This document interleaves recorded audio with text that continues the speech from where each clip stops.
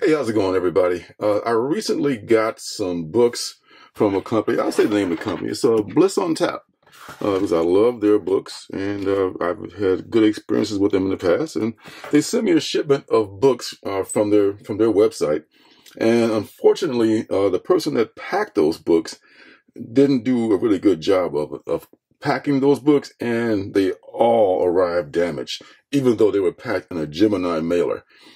So I just want to make this video uh, to maybe hopefully help someone who may be packing stuff themselves so they'll know how to package comics, specifically comics, uh, for shipping.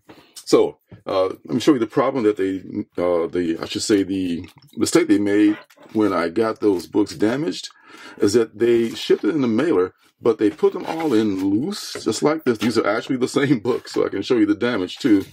And they just folded it over like that. You can tell that's never been taped. There's no tape that's ever touched this box.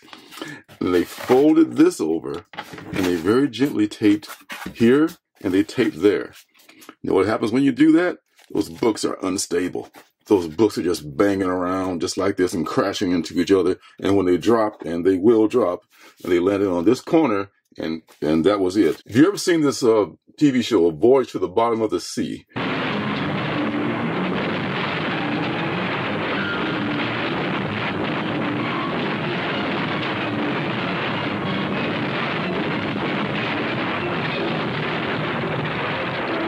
And every time they run into some monster under the sea, they'd be crashing around and going from side to side like this.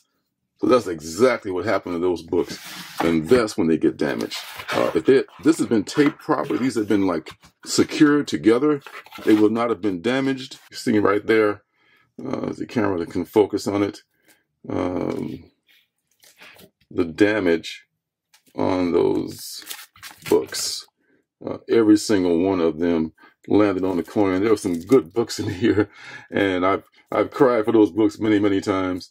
Uh, but hopefully, we can all learn from this experience. Uh, people at Bliss on Tap were very gracious. They replaced all these books. Uh, they were great about that. But the problem is, uh, when they replaced those books,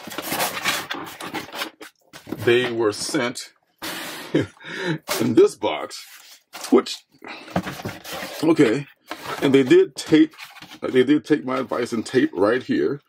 But I think they lost the, I mean, they didn't get the point, which was uh, to just make them immobile and you would need all this packing. They, they included all these extra backing boards as padding, I guess and that was totally unnecessary and a waste of resources. Added weight to the box that didn't have to be on there, and it could have actually maybe damaged the books more because it was so packed in here that this was this was just unnecessary. If they just taped the books properly, which I'm about to show you in a few minutes, do less talking. But I just wanted to show you the things that uh, prompted me to make this video.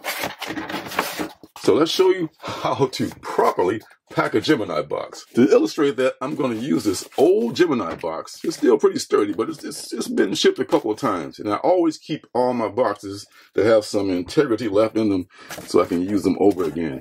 And I'm going to pack this one comic book. And that's all, this is all you need. And these things are pretty perfect, these Gemini boxes. So as, uh, as things go, uh, in the world of shipping, they're, they're, they're pretty ingenious. They, they, keep comic books perfect as long as you pack them correctly. You can just turn this book uh, face down, or you can just use it this way. And now you to secure the book with some sort of tape. I recommend either um, this is painter's tape. I recommend that, or at least, at the very least, magic tape. Magic tape is low tack. You want a low tack tape on the books. I'm going to use painter's tape because that's actually the best kind of tape you can use. Cut four pieces. If I was using more books, if I was shipping more than one book, I would need to secure them together somehow with this painter's tape, the low tack tape of some sort, and then tape them into the Gemini mailer. Okay, so I've cut my tape now. I'm going to secure my book in the box. I just line it up with these pre-set folds that they've already so graciously made for you. Line up against one of the folds. Use one strip of tape. Another. Third strip. And the final strip just to keep it in place. That's all you need. There, there you go. It's not moving. See, it's it's it's not moving. It's the most important thing because movement is the enemy of things when you're shipping them. Let me say that again. Movement is your enemy. You don't want things to move around. If they do, they're going to get damaged. Chances are overwhelming. Now, the next step, very simple, just fold this over. And now is where we can use your high tack tape, which you should be, you should have some kind of sealing tape, some kind of um, packing tape like this. Uh, this is like a, a four inch roll, which I used to use when I was in shipping, uh, working at a UPS store. But you can get like a, a two inch uh, roll of tape that does the same thing.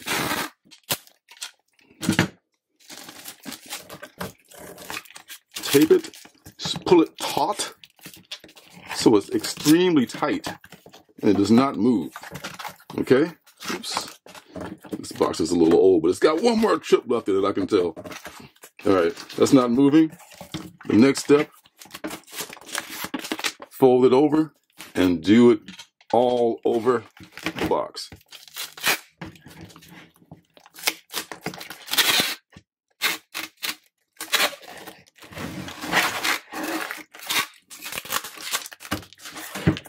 Not to bump the camera, otherwise I'd be doing it much more vigorously.